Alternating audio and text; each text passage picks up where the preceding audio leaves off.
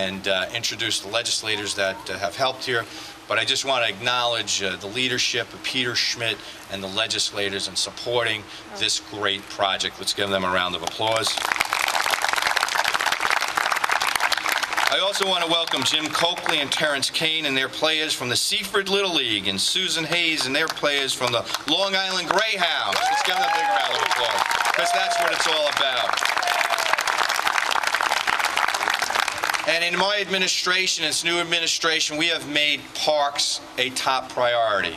We have worked hard to take back our parks, restore them, put them in the people's hands, keep them affordable for our kids, and this is yet one more example of that improvement. And we are fortunate to have a great Commissioner of Parks and Recreation, is Carnell Foskey and his team. Carnell!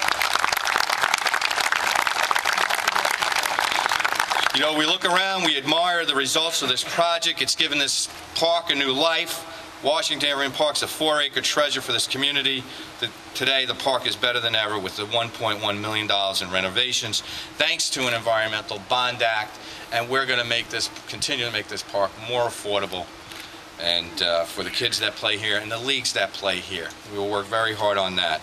Uh, we incredible improvements in this park with the artificial turf infields, the seeded outfields, new dugouts, new stands and fencing, additional separate play areas for preschoolers, new pathways, restrooms, parking lot, landscaping.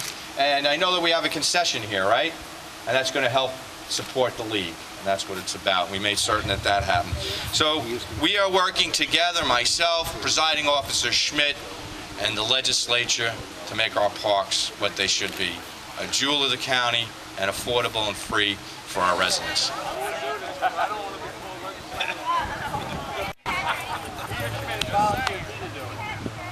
Oh boy.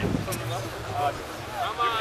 You can come close. I just did this at the Ducks game Friday night. I made it over the plate.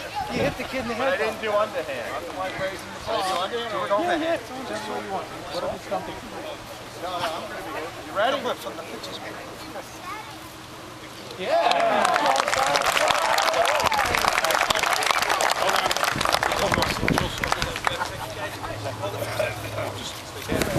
All right? Count down. Three, two, one, then he's going to throw it. All right? Three, two, one. It'll be the first time I've been hit by a county. Ah.